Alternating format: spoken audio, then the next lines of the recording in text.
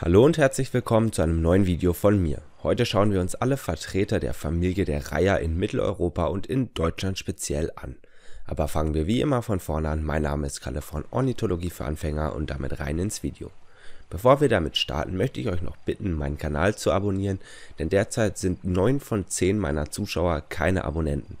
Abonniert meinen Kanal, um in Zukunft keine Videos mehr zu verpassen. Im heutigen Video möchte ich euch anhand von Lebensraum, Aussehen und Ruf unsere Schreitvogelwelt etwas näher bringen. Wir haben einige häufige Arten, einige etwas seltenere Arten und ein paar Ausnahmegäste. Diese werden wir in der Reihenfolge kennenlernen, also lasst mich mit dem ersten Reiher beginnen. Starten wir mit dem Graureiher. Der überwiegend graue Vogel mit weißem Kopf und schwarzen Schmuckfedern wird etwa 84 bis 102 cm groß. Man sieht ihn oft in flachem Wasser oder auf Wiesen jagend, wenn er eine lange Zeit regungslos auf seine Beute wartet.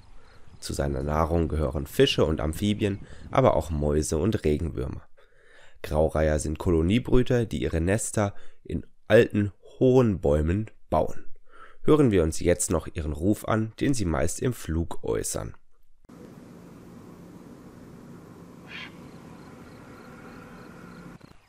Wenn ihr noch weitere Informationen zum Graureiher braucht, dann empfehle ich euch noch diesen Steckbrief hier.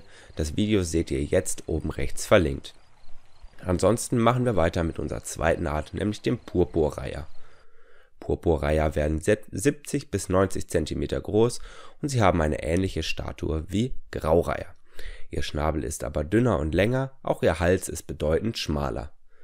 Die erwachsenen Tiere haben einen rotbraunen Kopf und Hals, einen grauen Mantel und die charakteristischen schwarzen Striche am Hals.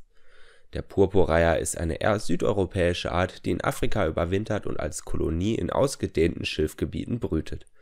Aber auch in Deutschland gibt es einige Kolonien.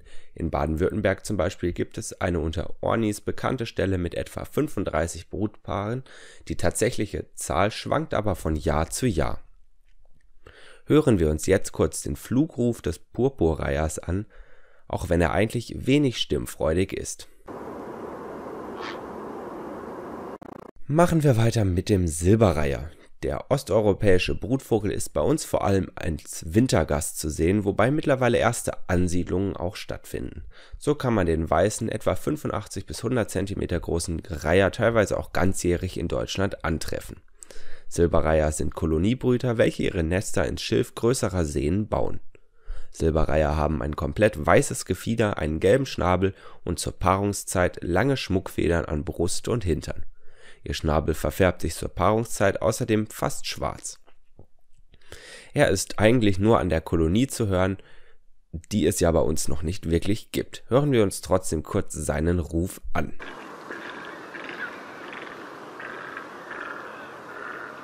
Kommen wir zum Seidenreiher. Der auf den ersten Blick ähnliche Vogel ist aber mit 55 bis 65 cm Körperlänge deutlich kleiner. Auch er ist komplett weiß, allerdings mit einem langen, dunklen Schnabel. Wenn er mal läuft, erkennt man ihn auch an seinen grünlich-gelben Füßen. Auffällig sind auch die schönen Schmuckfedern am Hinterkopf des Seidenreihers. Seidenreiher brüten in Südeuropa in kleinen Bäumen an flachen Seen, aber jedes Jahr werden sie auch in Deutschland beobachtet. Ihre Nahrung suchen sie teils in Gruppen im Flachwasser, wo sie mit ihren Füßen allerlei Getier im Schlamm aufwühlen. Auch Seidenreiher sind außerhalb der Kolonien meist stumm, hier hört ihr aber mal ihren Ruf. Machen wir weiter mit dem nächsten südeuropäischen Gast, dem Kuhreiher. Wie ihr Name schon verrät, sieht man sie oft im Trockenen auf einer Kuhweide oder sogar auf den Kühen stehend. Sie werden 45 bis 52 cm groß und brüten ähnlich wie der Seidenreiher an Seen und Flussufern in kleinen Büschen oder Bäumen. Die Art breitet sich unter anderem wegen des Klimawandels aus, so wird er regelmäßig in Süddeutschland beobachtet. Der überwiegend weiße Reiher hat einen kurzen Schnabel, aber seine gelben Federn im Prachtkleid machen ihn eigentlich unverwechselbar. Im Flug stößt er gelegentlich folgenden Ruf aus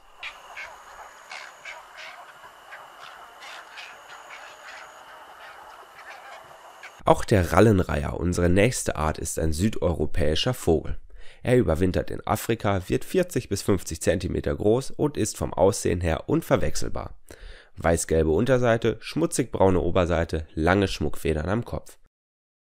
Ihre kleinen Kolonien bilden sie oft gemeinsam mit anderen Reihern.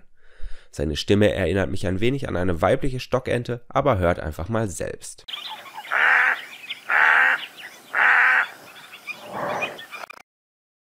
Jetzt kommen wir auch schon zum letzten Reiher, bevor wir uns noch der Rohr- und der Zwergdommel widmen. Der Nachtreiher wird etwa 58 bis 65 cm lang und wie sein Name verrät, ist er überwiegend nachtaktiv. Er ist selten im Schilf, stattdessen nutzt er Sümpfe, Flussauen und Teiche als Jagdgebiet. Nachtreiher überwintern in Afrika und sind in Europa nur von April bis Oktober anwesend.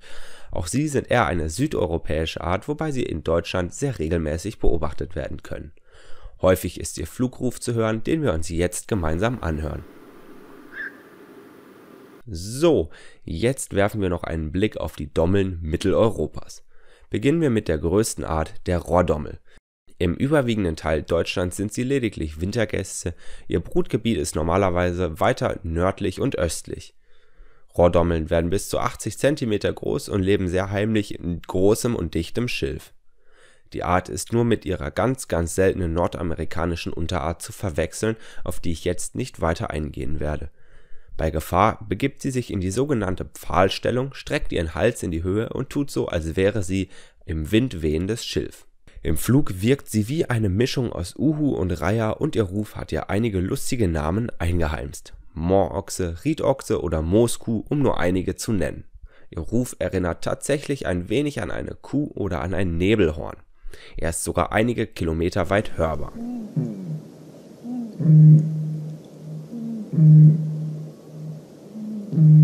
Die Zwergdommel ist ein 33 bis 38 cm großer Wasservogel, welcher auch kleinere Schilfflächen besiedelt. Sie überwintert in Afrika, ist aber in Deutschland Brutvogel. Sie ist der kleinste Reiher, sogar kleiner als ein Teichhuhn, damit du mal einen Vergleich hast. Das Männchen hat eine schwarze Oberseite, die Oberseite des Weibchens ist braun-schwarz gestreift hören wir uns kurz den monotonen, froschartigen Gesang an, welcher sowohl tagsüber als auch nachts zu hören ist. Das war es dann auch schon wieder von allen Reihearten Deutschlands und Mitteleuropas. Wenn das Video dir gefallen haben sollte, dann würde ich mich über ein Abo und eine positive Bewertung freuen. Ich danke dir fürs Zusehen, tschüss und bis zum nächsten Mal.